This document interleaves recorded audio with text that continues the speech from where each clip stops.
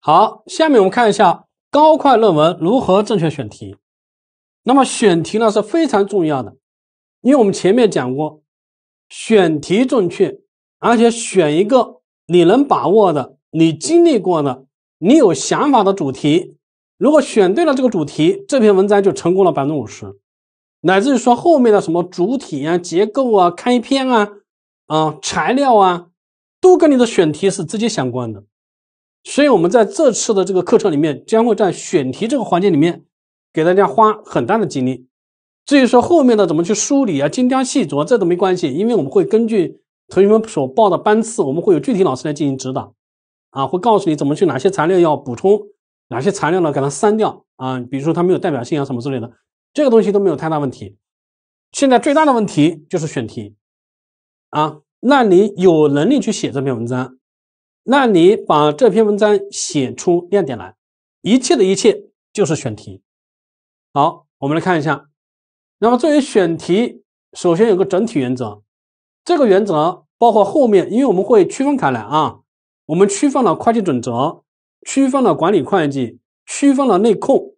但不管说你写什么东西，我们的原则都是一样的。第一个，所有选题一小不一大。我虽然在前面讲了，我们高级会计师相当于大学副教授，但是客观来说，如果说在写文章这个领域要求大家达到副教授这个级别是不现实的，啊，不现实的，因为大学副教授是天天做研究，他又不用去做管理，他也不用天天跟着大 boss，对吗？他只要做研究就可以了。所以那些真正在大学里的副教授啊，他的选题可以适当的大一些。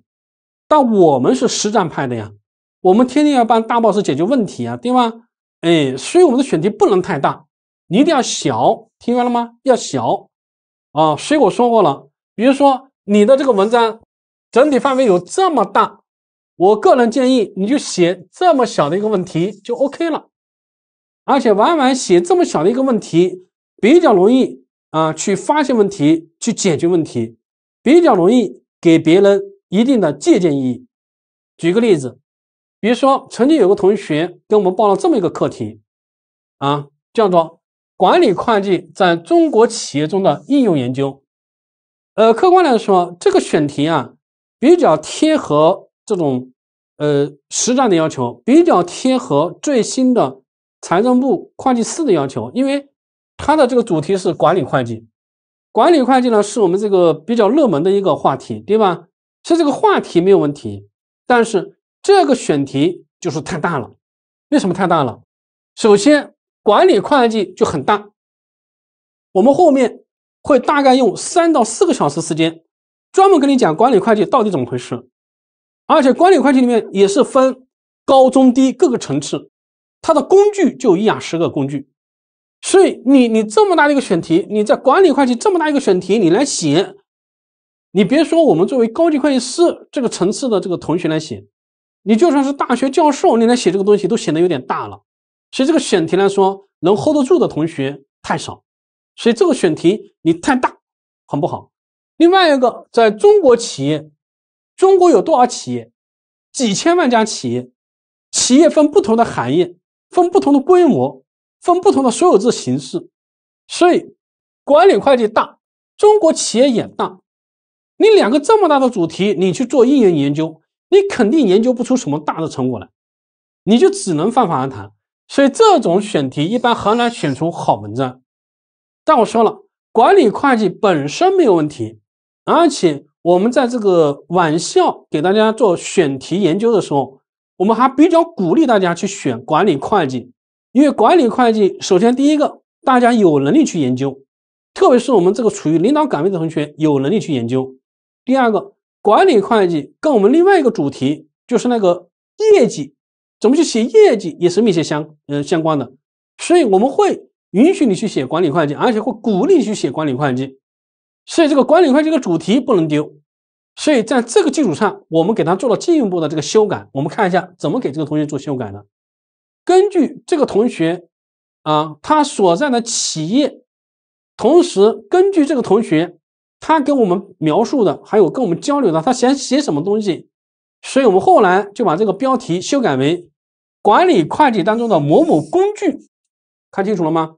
某某工具，因为管理会计里面有十几个工具，我就研究其中一个工具，比如说战略地图，比如说啊我的这个思维那个那个呃雷达图，对吗？比如说啊我的其他的一些这个工具，比如说 SWOT 分析。对吧？波特五力分析，对吗？这是其中的某个工具，你就研究这个工具就可以了，对吗？哎，然后呢，这个工具在不同的企业怎么用，对吧？比如说评分积分卡这个工具，它不同企业用的是不一样的，所以紧接着再给它做限制，在中型制造业企业，看清楚了吗？所以它这个范围是逐步跟它压缩、压缩、压缩，对吗？只研究某某工具，而且只研究这个工具在某某型。这种制造业企业当中的研究，而且还加了个副标题，以某某公司为例，这个某某公司就是这位同学所在的公司，他是这家公司的财务领导，对吧？嗯，然后这个工具呢，在他们公司还用了，用的过程里面发现了很多的问题，然后他们呢，通过这种呃整体的努力呢，这个问题逐一得到了一些解决，对吗？所以他想写这个东西，我说好，可以，对吧？但是你就写某某工具在你们这家企业具体怎么去用，怎么去解决这个问题。然后这个工具你怎么进行了修改，对吧？因为管理会计啊，同学们，管理会计客观来说是从国外引进了很多工具，比如说我跟你讲的什么 SWOT 分析，包括什么评分积分卡，对吧？啊，包括跟你讲的什么雷达图，对吗？这些同学有些同学熟悉，有些同学不熟悉，对吧？这些工具都是基本上从国外引进的。中国的管理会计客观来说非常薄弱，但是我们这几年又在提倡去做管理会计转型，对吧？哎，所以这样把国外的东西引进过来。怎么结合我们中国自己的企业去运用啊？怎么把它磨合，对吗？把它用好，对吗？哎，那你这些研究都是可以写出很很亮丽的一个东西来。为什么？因为这个是以你们公司为例写的一个东西啊。所以这个呢，我就把它修改为这个啊。果不其然，这个同学经过一教二教啊，后面这篇文章写的这个质量是非常高的啊。后来这个同学评审也是顺利通过，对吗？也是顺利通过，因为肯定清楚啊。因为你这篇文章是有亮点的呀，对吗？所以这种文章就比较容易把握，也比较容易写出你的亮点，写出你自己的东西啊。这个东西是独一无二的，别人是别人是很难，就是他没有经历过这个东西的这种同学是很难写出你这篇文章来的，对吗？然后你写完以后呢，别人一看，哎呀，眼前一亮，对吧？哎呀，我们单位也遇到这样的问题，但我们单位呢，就可能没有这么强的这种这种团队力量，对吧？或者说有各种原因，我们家就没有达到你们家这个标准，对吗？哎呀，我看完以后，哎呀，觉得你们家写的特别好，对吗？解决了我们家的问题，对吗？OK，所以紧接着第二个，你选好题以后，你的选题啊，一定要有现实指导意义。所以后面会讲，我们呃比较鼓励大家去解决实战问题类的这种文章，而不是单纯理论性的文章。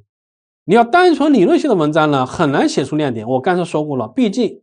我们只是相当于大学副教授，但我们并不是大学的副教授。大学副教授干的是专门做理论研究，他也不更干别的，对吗？他也不用去为企业创造效益，对吗？他只做理论研究就可以了，这是他的优势。我们的优势在哪里？我们的优势，我始终强调，我们的优势是处于实战，对吧？我们实战能力是比他强的，所以你这个这个文章一定是要强调实战，一定要强调现实。啊，举个例子吧，比如说新收入准则，如果你对新收入准则只做理论研究，你肯定很难写出亮点。为什么？新收入准则这些大学教授每个人都在写，对吗？你还有他研究的透啊？你有没有研究国际准则，对吧？因为我们国家这个新企业会计准则有个特点，它是从国际准则里面引过来的。啊，国际会计准则发生变化了，我们中国的准则也变化，不管中国现在能不能用，它都会发生变化，对吧？哎。那正好啊，同学们，你发生变化了，对吗？你为什么变了？因为国际准则变了。那国际准则变了，它是国际的呀，对吗？国际的是是以为主啊，谁为主啊？国际会计准则以你中国为主，还是以这种西方发达国家为主啊？那肯定是西方发达国家呀，对吗？尽管说中国的经济也发展了，但是中国现在这个经济拉得很很长，听明白了吗？你要北上广深一线城市呢，可能这个能跟上这个西方国家的这个步伐。你要二线、三线、四线呢，还有一些新兴行业呢，对吗？那那说句不好听的话呢，你们这些准则变化，可能对我们这些行业会有冲击呢，对吧？我怎么去用，对吧？你不是说你这个准则出来以后大家都能用得上，对吧？咱说句实在话啊，这个会计准则也把同学们拉了个三六九等，对吧？有的企业用的很好，有的企业就用的一般，有的企业就用的就干脆就不用了，对吗？我不管他出什么准则，反正我不管，对吗？我就用自己的，对吗？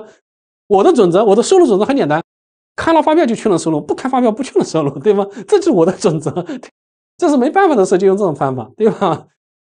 所以你你如果研究新收入准则，你绝对不要去从理论做研究，对吧？所以我们也给一个同学改了个题目，对吗？怎么改呀？你可以研究新收入准则，但是一定要研究你们家是干什么的。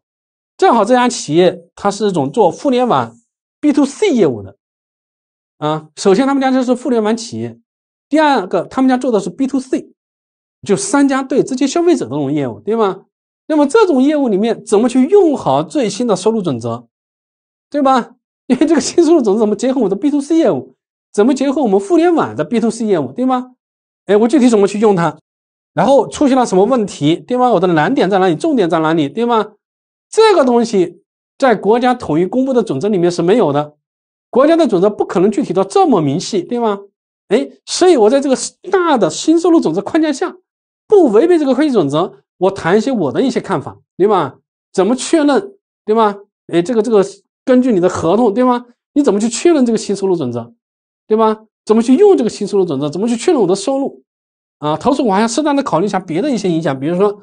呃，税法呀、票据啊，对吗？这个我我我可以结合下来写一下，对吗？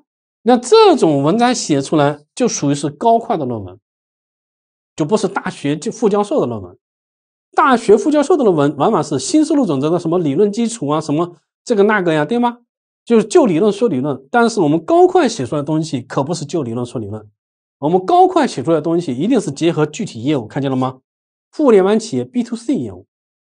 而且一定是里面的具体怎么用以及重点难点，对吗？哎，这一定是你踏踏实实遇到过的问题，当然也包括你的朋友遇到的问题，因为不是你们家企业搞 B to C 业务啊，因为我前面说过了，我们是有圈子的，对吗？你的圈子肯定是很细的，什么很细呢？比如说陈老师，陈老师是做财务咨询的，我做财务咨询，我的圈子基本上是跟财务咨询相关的，或者说我的客户圈子，对吗？跟我不相关的。比如说专门做金融做贷款的，他那个圈子不会让陈老师进去，我进去了也不知道说什么，明白了吗？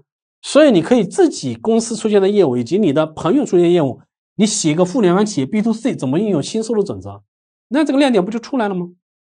对吧？而且很有指导意义啊！啊，如果我们家也是互联网企业，我们家也正在做 B to C 业务，而且我们家很多业务跟你们家相同或者相近，那我完全可以根据这个文章再结合我们家的情况。我来具体的细化呀，对吧？这就是现实指导意义，这就是高快论文啊。OK，好，第三个，一定要根据同学们目前的工作岗位啊、企业规模选择你的主题。我说话很实际，尽管说我们都是晚校的学员，就是晚校的学员也是分三六九等的。有的是金字塔塔尖，对吗？我们财务人员是一个金字塔型的。有些同学是在塔尖，有的同学是在中间，有的同学是在基层。这个我说话很实际啊，你要搞清楚你到底在哪个位置，你在哪个位置写什么东西。好，我们首先从最基础说起啊。我们有些同学目前处于是基层岗位，企业规模不大，嗯，然后你的职位也不高。也基本上呢是以核算型为主，啊，当然客观的说，这些同学评高快相对来说会吃点亏，吃点亏。虽然说我们这几年高快评审的时候都有文件说要向基层倾斜，要向这种一线的财务人员倾斜，对吧？呃，但是他为什么反过来你要分析一下，为什么他每年都要强调要倾斜呢？就是这些同学频道的这个比例太少，对吗？哎，为什么比例太少呢？因为这些同学过于朴实啊，哎，过于朴实，我也只能用这些言言语来形容了啊，很朴实，很基础，对吧？那这些同学从论文、从业绩看到的亮点就不多啊。那么处于这个层次的同学啊，需要不断的改进啊。我尽管说会指导你们去写论文、写业绩，但是还是希望你们发生不断的发生一些变化，要不逐步的往上走啊。那么目前处于基层岗位的，那么这些同学呢，一般来说管理能力呢相对弱一些，但是呢专业能力呢比较强一些。我刚才说过了，写就写你擅长的啊。我虽然说这里会有金字塔塔尖的东西，但这些东西普通人真是写不了。所以，既然你们目前处于基层岗位，处于会计、主办会计这个岗位，或者主要负责的是核算工作，这些同学，既然你负责核算工作，那你想想看，你主要研究什么呀？对你主要研究会计准则，对吧？所以这些同学主要以专业性主题为主。然后，如果有适当的管理呢，你的管理会计为辅助，就以专业主题为主，管理会计为辅助。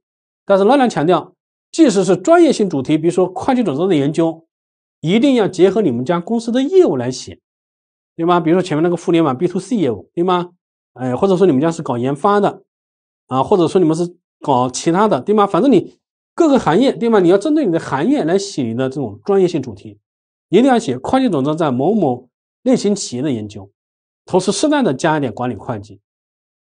好，第二个层次是中间层次，中间略偏上的层次，这些同学开始呢就慢慢有自己的很关心的东西了，而且越往上走呢越关心。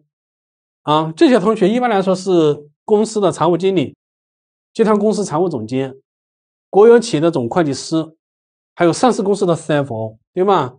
呃，越往上走了，你发现没有？越往上走，其实陈老师的心呢就越平静了，因为这些同学不管是从论文角度还是从业务角度，他们都比较符合高快评审要求。也就这么说吧，我们高快大比例啊，就最大的比例是在三点二这个层次啊，三点一这个层次有一定的比例，但是比例呢相对少，最大的比例是在三点二这个层次，就是就是常务经理、常务总监。国企总会、上市公司 CFO 这个层次的同学相对多一些啊，当然基础岗位呢也有啊，也有，但是比例没有这么高啊。那么这些同学跟第一个层次的同学定位就完全不同了。这些同学要突出你的管理能力，而且管理会计是这几年财政部特别嗯这个努力在推的一项工作。所以这些同学写的高考论文应该以管理会计为主。当然，如果你也研究会计准则啊，比如说子公司财务经理啊，或者你是总会，你就喜欢研究会计准则，那么研究会计准则这种专业性主题也是可以的啊。但是我会提出来以谁为主，以谁为辅助，对吗？OK，好，第三波呢是行政事业单位的财务人员。那么行政事业的同学呢？呃，根据我们这个高会的评审要求呢，只有事业单位的可以参加高会评审，行政单位的不可以啊。OK，当然，如果你是行政单位的临时工，那就算了，对吧？因为我们这里呢，就是有公务员身份的不允许啊。OK，那么如果在事业单位工作的财务人员呢，你们主要研究的东西呢，呃，主要是企业会计准则啊。那么这个会计准则里面，具体来说，就是我们在一九年、二零年新修订的政府会计准则。及相应的制度，还有事业单位成本核算基本指引，因为事业单位呢也有一些成本，对吗？还有事业单位财务规则，那么这些东西都可以做很好的研究。那老师，我们事业单位有没有管理会计？也有，但是不多，因为我们管理会计目前主要是针对企业，但事业单位适当的有。事业单位主要是因为事业单位主要分为三波啊，第一波呢是全额国家拨款的。就基本上是参照公务员来管理，全额国家拨给你，对吗？第二波呢是差额拨款的，就是国家给你解决一部分经费，然后你自己去解决一部分经费。那么这些同学呢就开始有经营活动了，对吧？那么第三波事业单位呢是全额，就是自收自支的。那这些企业、这些事业单位基本上跟企业是一样的。所以其实呢，那种差额管理的、自收自支的同学反而比较容易写出一些好文章，而那些全额国家拨款呢？比较安逸，对吧？比较安逸，那这种呢，就写出来文章就不太，呃，亮点就相对会少一些啊。好，第四波，第四波呢是比较特殊的一个群体，这个群体原先归属于我们财务部，但后来随着公司业务的发展啊，以及内控的要求，把它独立出来了啊。这主要是做内控内审的同学啊，内控内审，包括我们财务以前有个岗位叫做稽核，对吗？哎，还有在会计师事务所。或者税务师事务所工作的中介机构的同学，那么这些同学他研究的东西可能跟我们前面这三波同学研究的东西是不一样的，或者他的工作内容是不一样的。那么这些同学可以做，首先第一个是内控建设，因为你负责的就是内控嘛，对吧？事务所也会指导企业去做内控，所以内控建设这一块，我觉得可以写出亮点来。第二个，我们的内部审计的具体实践，内控内审在中国啊整体构建呢。时间不是太长，它的时间仅仅比这个管理会计的时间稍微早一点点，对吧？我们首先推出来的是会计准则全面更新，然后推出来的是内控，然后紧推出来是管理会计，对吗？所以内控的时间比这个管理会计要早一点点，但是呃时间也不长，所以它具体的实践呢仍然有很多的空盘，很多的中空的东西值得我们去研究，而且这种研究你单纯按照。呃，这种大学老师去做研究，呃，还不一样啊，因为我也是那个，因为我跟九八五的高校认识的老师比较多，他们做内控内审的理论体系比较好，但是实战的时候就就能显出它的短板。而我们的财务领导、内控的领导在写这个内审实践的时候很有心得啊，很有心得啊，包括我们以以前一起吃饭，对吗？哎，然后九八五的那些有些老师、副教授，对吗？在一起。然后这个呢是某某集团公司领导的财务领导，啊，目前分管内控工作，对吗？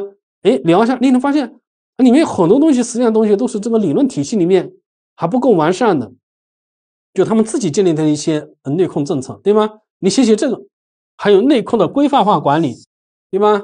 你做一下这个研究，当然你也可以做会计准则研究，为什么呢？因为大家也知道，做内控、内审进事务所工作的。一般来说，都是专业能力比较强的同学才有可能进到这些岗位，啊，你要是普通的财务人员呢，原则上来说是不应该直接调到内审部门去工作，对吗？内审、内控或者说稽核都是有一定的财务工作经验基础上，再把你调到内审部门去，啊，所以它相对来说会高一些，对吗？所以你做，如果你愿意的话，你做一些会计准则研究也是可以的，啊，但这个研究还是强调结合你们公司的业务来做研究，千万不要。做理论研究，理论研究适合那些研究所、高校，但不太适合我们高级会计师，听明白了吗？除非你真的理论研究很强，对吗？哎，如果你真的理论研究很强，你写写会计组织理论研究可以。但是如果说你就是实战型的人才，你还是写一下会计准则在实战中的应用研究，就实战里面怎么去用，你写这个。好，接下来我们具体切入到。会计准则的选题，那么会计准则的选题呢？这个选题客观来说啊，我们看一下它的基本特点。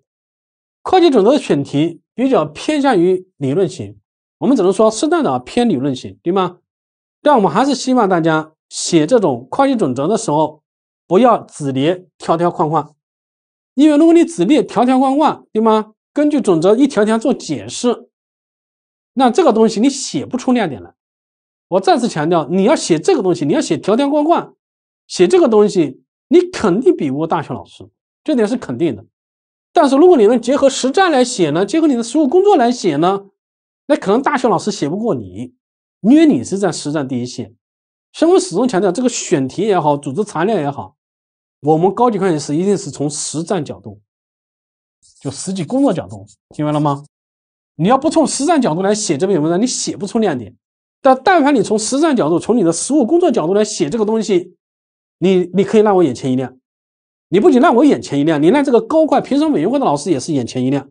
因为我们高会评审委员会里面也是有一大一大部分老师他是高校老师，他高校老师没有看过这种东西啊，对吧？哎，还能从这样做研究啊，对吧？而且研究的还是对吧？这个框架体系啊，对吗？证据啊，观点啊，对吗？还非常吻合，对吗？哎，挺好，这种文章从来没看过，对吗？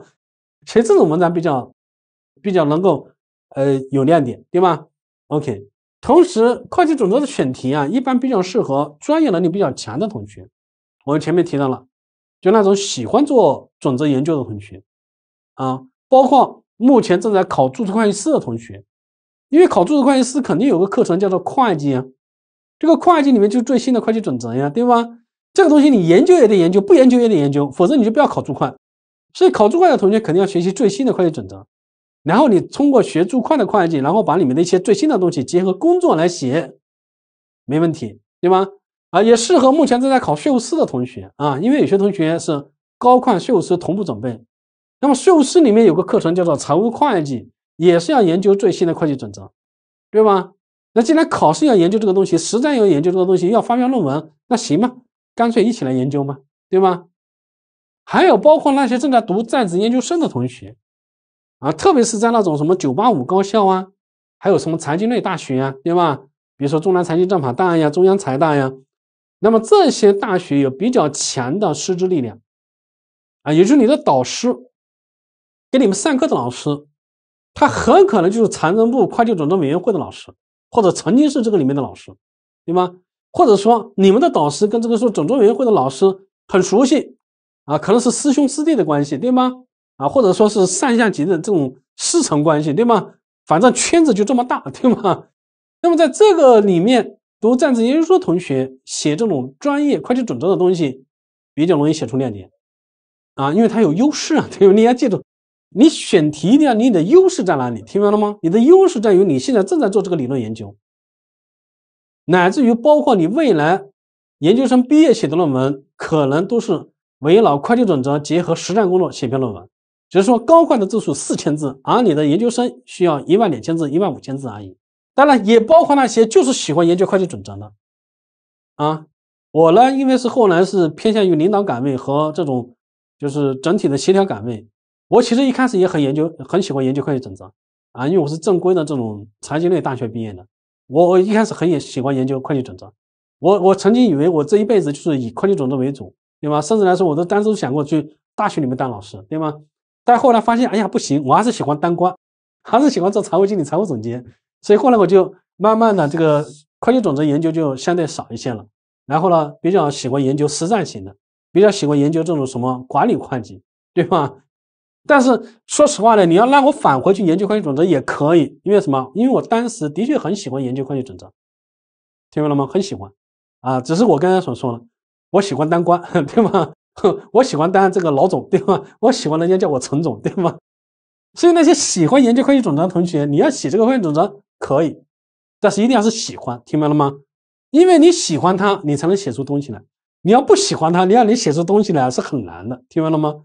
而前面的什么注会呀、税务师啊、在职研究生啊，不管你喜欢不喜欢，反正你要搞这个东西，就必须研究会计准则。所以这这些同学比较喜欢，比较适合去写会计准则。啊，如果这几个都靠不上的同学，你还是看看后面的管理会计或者内控，看看有没有亮点啊。好，另外一个呢，根据同学们所在单位的性质，这个会计准则啊也是分得很细的。如果你在企业工作，那毫无疑问，你研究的是企业会计准则。别的什么行政事业单位的呀、民营非营利组织呢，你就别去研究了。为什么？老师，为什么这些我不能研究啊？你又没干过。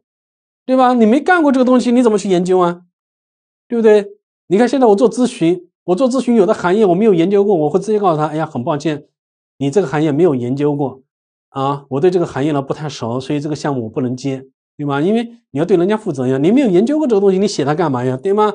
对，所以在企业工作同学主要研究企业会计准则，别的呢，按照陈老师的意见来说，就不要瞎折腾了。类似的，你是事业单位工作同学。那毫无疑问，你应该研究政府会计准则或者行政事业单位会计准则。OK，好，老师，我既不在企业，我又不在事业单位，我在一个什么这种什么社团啊，什么基金会呀，啊，这叫什么？这叫民间非营利组织。那么这种非民间非营利组织呢，是处于企业和行政事业单位之间的一个状态。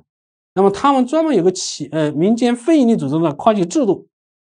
那这个东西跟你的实战工作有关系，所以你就去研究民间非营利组织会计制度。所以我紧紧接着我就要说的是，朋友们一定要结合你在干什么，你在什么山头你就吆喝什么，明白了吗？你在企业就专门研究企业，你要是在事业单位就专门研究事业单位，你要在民间非营利组织就专门研究民间非营利组织。老师，我非得研究别的呢？非得研究别的，第一个怕你写不出好文章，第二个，我再从评审角度来跟你讲一下，这篇文章一看，哎，这个同学明明是在企业工作，他干嘛去研究政府会计准则呀？他有没有在这里面工作过，对吗？那他不是瞎研究吗？对吗？所以老师他也会心里面也会觉得你这个研究是不是偏了？除非你这篇文章很有亮点，对吧？很有亮点。你如果很有亮点的人，哦，他还是很有亮点，对吗？但老师也会加一句：可惜了，他其实不应该在企业工作，他应该到事业单位工作比较合适。可惜了，对吧？他对这个事业单位研究这么透，对吗？但是在企业工作浪费人才了。但是如果你在企业工作，研究的是企业会计准则呢，人家说：哎，这个挺好，对吗？又是从实战里面来的。而且研究完以后也可以用到自己单位上去，哎，这个研究挺好，对吗？就是你的研究，你的应用性的研究，一定要从你的实战中来，然后要返回到你的实战里面去，啊，千万不要说是别人的东西，结果你去研究别人的，研究完了以后你自己还用不上，对吗？你这种研究的意义就不大啊。OK，好，接下来我们具体看一下啊，首先是新企业会计准则的研究，而这个研究的同学比较多，因为我们大多同学是在企业工作，对吗？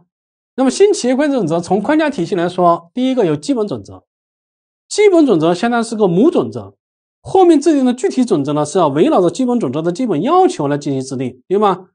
那么基本准则的研究呢，一般来说理论性稍微强一些，理论性强一些，因为它只是一个框架，告诉后面的准则你们要采取什么原则来制定你们的准则，它不是太具体，对吧？所以研究基本种的同学相对比较少一些。啊，我只会说少，不敢说你不能研究啊。你还是那句话，你自己评估自己。你要觉得你能 hold 得住，就这个话题你能写出亮点来，你就做研究，听明白了吗？哎，我还是那句话，写论文选主题，这叫自由恋爱，听明白了吗？我虽然说我会提出一些观点来，对吧？但如果说你就是觉得老师我就是喜欢写这个东西，我认为就能写好。可以，没问题，听明白了吗？哎，但是我们呢可能会提一些建议，对吧？你写这个可能你们会家庭更加幸福一点，对吗？就像以前一样，包办婚姻，对吗？有的人批判包办婚姻，有的人也是鼓励，对吗？门当户对嘛，门当户对还是有点道理，对吗？其实我们这次给你们选题也是希望你们门当户对，对吗？你门当户对一点，你就比较有亮点，对吗？但是我还是那句话，我们只提供建议，我们不强制啊。如果真的喜欢研究会计基本准则。可以，但我只是说，可能对于大部分处于财税实战一线的同学，如果单纯研究基本准则，可能这个亮点会少一点，如此而已啊。那么同学们的亮点主要体现在哪里呢？主要是体现在具体的准则。我们一开始公布的时候是三十八项，后来陆陆续续做了些修改，然后又增加了，对吧？现在是四十多项。那么这个四十多项，呃老师具体怎么研究啊？还是那句话，同学们，你目前的工作。跟哪个准则有关系？你目前你们的行业有哪些问题跟这个准则有关系？你做研究，听白了吗？这是基本原则。当然，另外一个呢，那些比较新的、刚刚修订好的准则，可能在同等条件下，你可以有个优先权。就说我这个也可以研究，那个也可以研究，但这个话题呢，已经 N 多年没有更新了，大家也不关心它了。而这个话题呢，刚刚更新，大家都好关注。陈老师，你选哪个？那以陈老师的性格，我肯定选这个刚刚更新的。为什么？大家都在关注啊，对吗？你那个不关注，你写的再好呢，你说哎呦，跟我也没关系，对吗？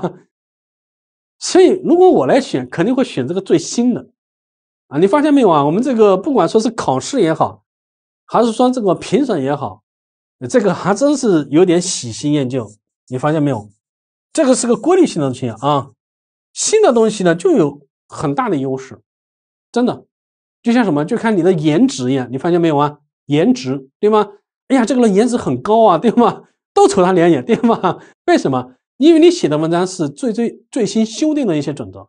其实我可以跟你说句心里话，但凡出台的新的准则，有它好的地方，一定有它不好的地方。我这句话可以可以断死去啊！任何一个准则。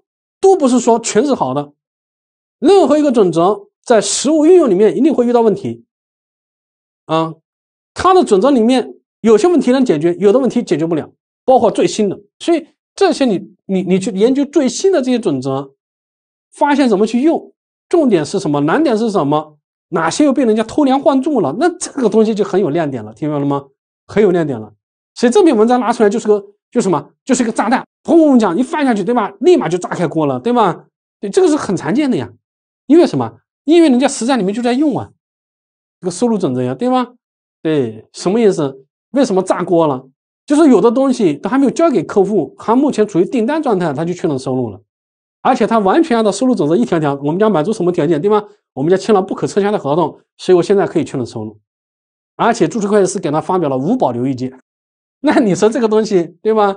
但是人家也说了，那我完全符合新公布的收入准则呀，对吧？完全符合这个条款啊，对吗？你这些研究是很好的研究，听懂了吗？对，那么你这些研究，特别是拿到一些实物案例，结合这个会计准则来进行研究，这篇文章是非常亮丽的。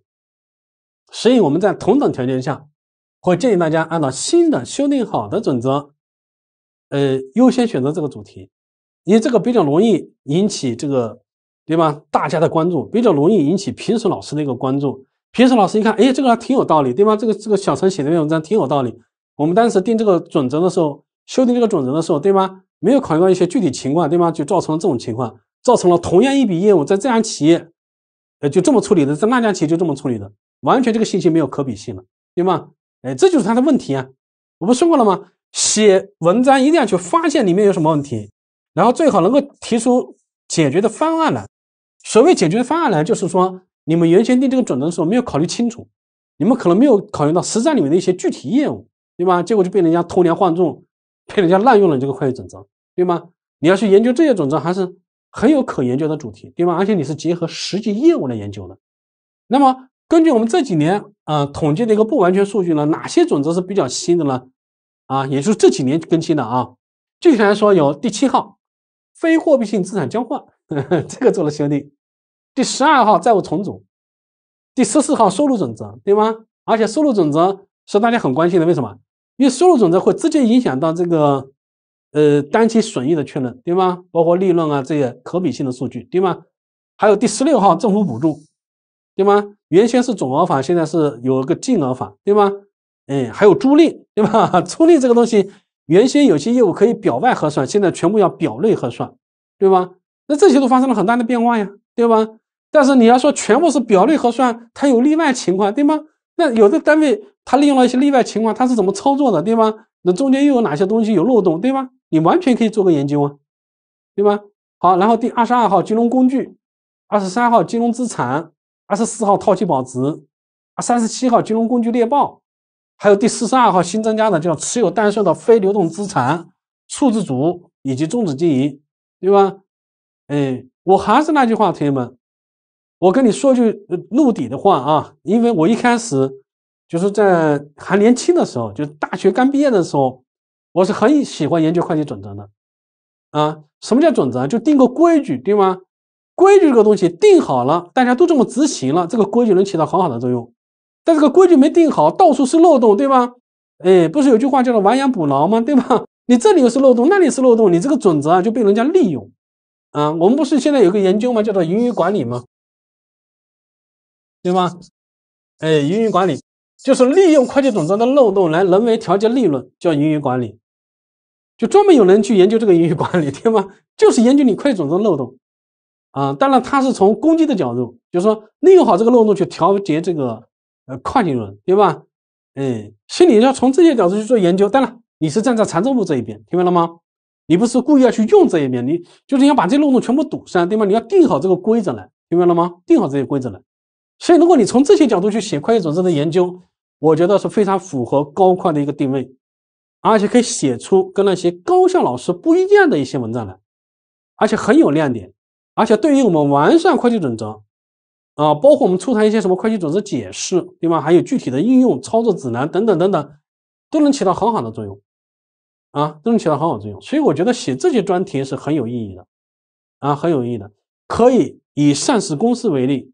也可以以自己公司发生的业务为例，包括我们整个财务部啊，比如我们财务部比较大啊，有十几个人都在研究这个问题，结果我们分成了两派，甚至分成了三派啊，一派认为呃应该这么做，另外一派认为应该这么做，还有一派认为既不应该这么做，又不该那么做，而且每一派都很有道理，对吗？最关键大家都很有道理，而且大家都能从现有的会计准则里面找到直接的依据，那就依据之间发生了冲突，对吧？哎，或者是这个规则本身定的是有问题。那如果你说能写出这个东西来，那你这篇会计准则论文非常有亮点啊，非常有亮点。而且这些论文呢写的很多，同学们写的很多，而且每年啊，每年这个一月到四月之间，这种文章啊是天天都报的非常那个。还有包括新的准则在征求意见的时候，在正式公布的时候，这种文章就特别多，对吗？特别多啊，就是刚才我这个角度，对吗？